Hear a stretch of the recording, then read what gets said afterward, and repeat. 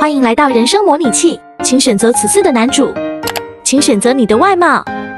你出生在一个十分贫穷的家里，这是你这学期的学费和生活费，省着点花啊，花完就没了。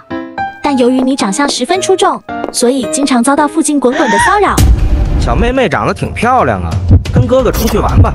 此时你选择不能，我还有课。你害怕极了，只能加速离开，却一不小心撞到旁边男生的怀里。你一抬头，发现他居然是你们学校的校草。你没长眼睛啊！快给我从校草身边离开啊！对不起，对不起，我不是故意的。你一边道歉，一边捡起地上掉落的马内。喂，穷鬼，这马内是你的吗？你就捡。这马内是我妈妈刚才给我的，拿来吧你。你干嘛？就你这副穷酸样，谁信这马内是你的啊？你看到校草也是一脸嫌弃的样子，你选择。最终，你只能垂头丧气的离开。很快，学校准备举行夏日祭活动。你们班准备表演童话剧《睡美人》，女主角可以获得一千马内的奖学金。你选择。老师让你们自己设计睡美人的形象来进行评选。你选择。你的形象成功在同学中脱颖而出，老师成功让你当上了女主角，这引起了校花的不满。老师她就是个小偷，不配做女主角。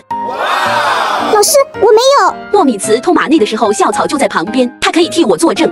那天我的确在现场。心灰意冷的你选择。等等，这个马内确实是他的。